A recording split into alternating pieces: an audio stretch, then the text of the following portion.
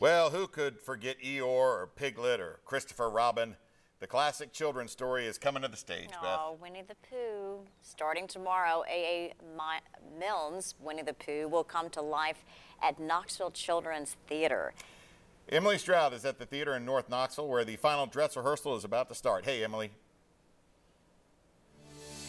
Hey, Beth and Russell, I love this story. And in just a minute, Alex and Landry are going to show us a little Piglet and Winnie the Pooh action. I'm here with Sean Moon. And Sean, kind of set up the scene for us.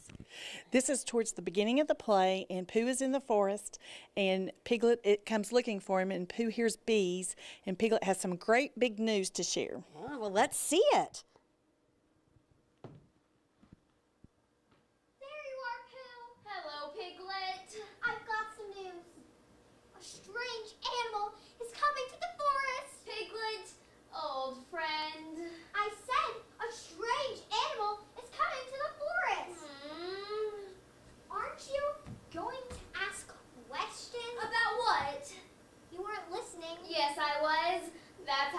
How I know it's up there. What is? Honey.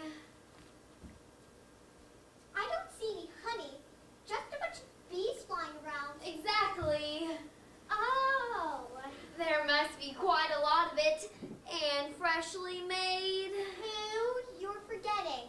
Thick and golden. Who? One delicious mouthful after another. Your diet! What's that?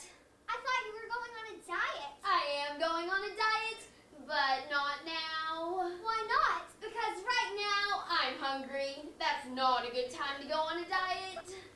Thanks, guys. But it is a good time to come see Winnie the Pooh at Children's Theater, Knoxville Children's Theater. It starts tomorrow at 7 o'clock. There's performances for the next three weekends. You can check up all those times at WBIR.com. We've got more live at 5 at 4 after the break.